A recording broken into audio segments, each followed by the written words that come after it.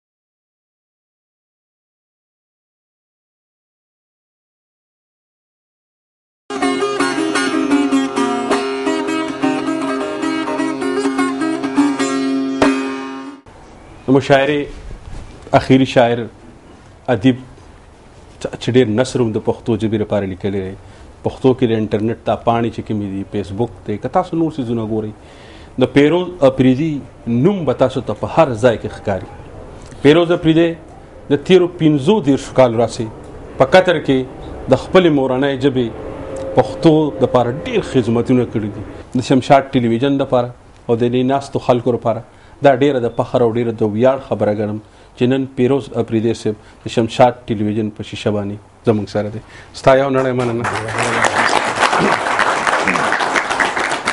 ما ته خو د پښتو هغه تاریخي ټپره یادېږي پیروز صاحب چې خدای د ژوندې لره جانانه خدای د ژوندې لره جانانه زه لیونی ټوپونه ستا سر له وهم بسم الله الرحمن الرحیم د په قطر کې د افغانستان د سفارت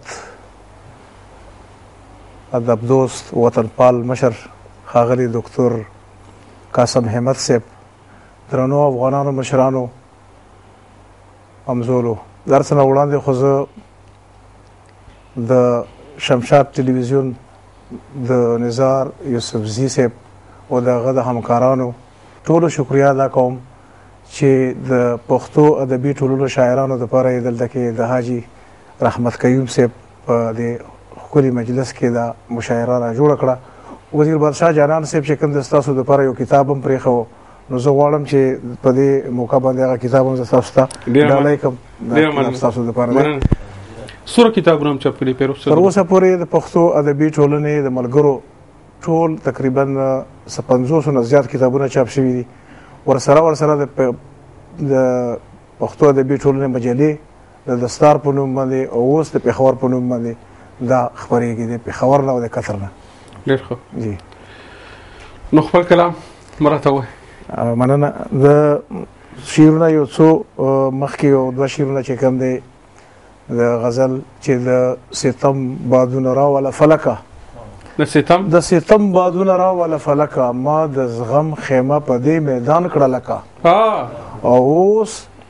دستا د بیروخی سره په زت شو اوس دستا د بیروخی سره په زت شو اوښکه راغله په لیمو کې مې شوه کلکه ډېر ښه او یو علامتي غوندې علامتي غوندې چې کوم دی بله کسا ده چې د چینې غوندې په رو رود کې بهېږم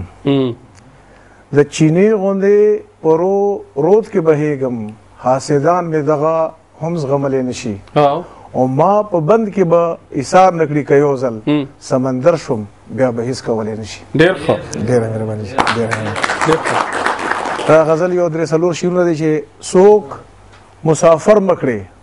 خپل کله کور په وران مکه ها څوک مسافر څوک مسافر مکړي خپل کله کور په وران مکړي عظیم خدایا ته بل څوک زما په شان نکړي ډیر ښه او ما د ژوندون لمحه په څومره لوی قیمت اخیستی ما د ژوندون لمحه په څومره لوی قیمت اخیستی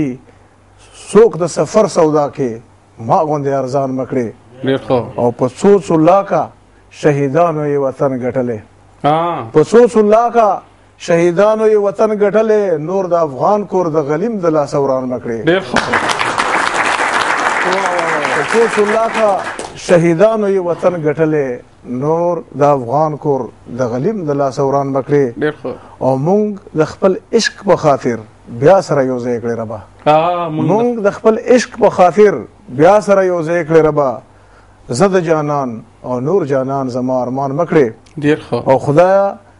چه څوک هم د پښتون په کور کې شر راولي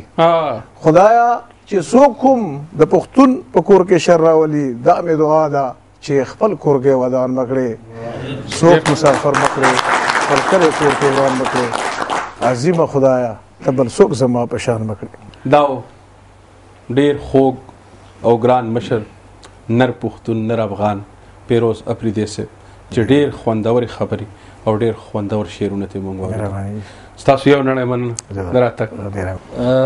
لدی موقع نه په استفاده سره